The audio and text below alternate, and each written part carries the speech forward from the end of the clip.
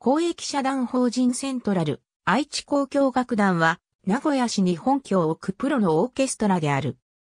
主に、愛知県名古屋市中区にある三井住友会場白川、ホールで年7回程度の定期演奏会を主催するほか、愛知県岩倉市総合体育文化センターでも年1回程度の岩倉定期演奏会、三重県四日市市文化会館でも年1回程度、四日市定期演奏会、年に一度の東京公演を主催するなどの活動をしている。日本オーケストラ連盟生会員。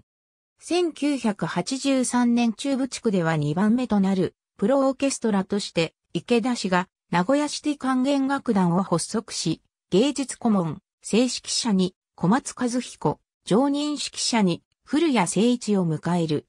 1996年より白川、ホールの協賛を受け同ホールを拠点とする。1997年、セントラル、愛知交響楽団に名称を変更。1999年4月、常任指揮者に松尾陽子を迎える。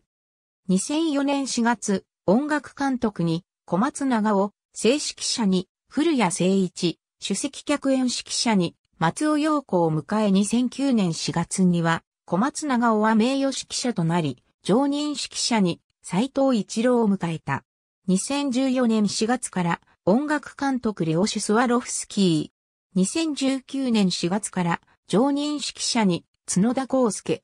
2021年4月に愛知県より認定を受け公益社団法人となる。ありがとうございます。